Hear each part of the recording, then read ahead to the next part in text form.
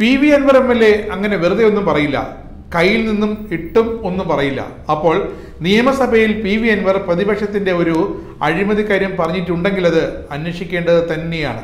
തികച്ചും ഗൗരവകരമായ ഒരു വിഷയം തന്നെയാണ്. സിൽവർ ലൈൻ പദ്ധതിയെ പ്രതിപക്ഷം അട്ടിമറിച്ചത് കൊണ്ടാണല്ലോ അത് കേരള സർക്കാരിന് പിൻവലിക്കേണ്ടി വന്നത്.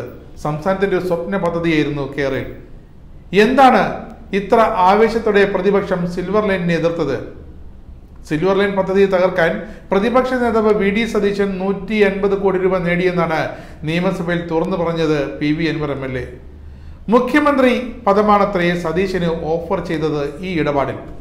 കർണാടകയിലെ ഐ ടി ലോബിക്ക് വേണ്ടിയാണ് പദ്ധതിയെ എതിർത്തത്. അതിനായി A I C C general secretary K C വേണുഗോപാലുമായി ഇവർ ഗൂഢാലോചന നടത്തിയെന്നും അൻവർ നിയമസഭയിൽ വളരെ ശക്തിയുക്തം ആരോപിച്ചു.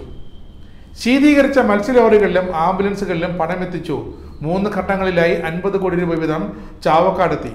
കേരളയിൽ പദ്ധതി അട്ടിമറിക്കാൻ വൻ സാമ്പത്തിക ഗൂഢാലോചനയാണ് നടന്നത്. ഇതിനായി ചില മാധ്യമങ്ങളെ കൂട്ടുപിടിച്ച് പ്രതിപക്ഷം കേരളിനെതിരെ സമരരംഗത്തിറങ്ങി. മുഖ്യമന്ത്രി സ്ഥാനമാണ് വി ഡി സതീശന് കോൺഗ്രസ് ഹൈക്കമാൻഡിന്റെ ഓഫർ ഈ പ്രവർത്തിക്കെന്നും പി വി അൻവർ പറയുന്നു. മാപ്പർഹിക്കാത്ത കൊടും പാവമാണ് വി ഡി സതീശൻ ചെയ്തത്. പ്രതിപക്ഷ നേതാവിനെ നിയമത്തിന് മുന്നിൽ കൊണ്ടുവരണമെന്നും പി വി അൻവർ സഭയിൽ പറഞ്ഞു. കേരളത്തെ രണ്ടായി വെട്ടിമുറിക്കുമെന്നായിരുന്നു പ്രതിപക്ഷ നേതാവ് പ്രചരണം നടത്തിയത്.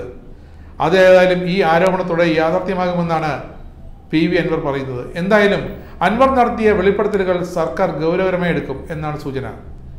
സിൽവർ ലൈനിനെതിരെ ഒരു അടിസ്ഥാനവും ഇല്ലാതെ പ്രതിപക്ഷം സന്ധിയില്ലാ സമരം ചെയ്തപ്പോൾ തന്നെ ഭരണപക്ഷം അതിന്റെ പിന്നിലെ അവിഹിത ഇടപാടുകളെ പറ്റി സംശയം പ്രകടിപ്പിച്ചിരുന്നു. അതാണ് ഇപ്പോൾ P V Anvar M L A നിയമസഭയിൽ വെളിപ്പെടുത്തിയതും.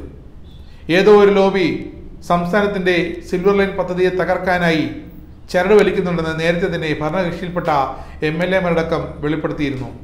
പക്ഷേ അത് ഈ വിധമാണെന്ന് ഇപ്പോഴാണ് P V Anvar M L A നിയമസഭയിൽ തന്നെ വെളിപ്പെടുത്തിയത്.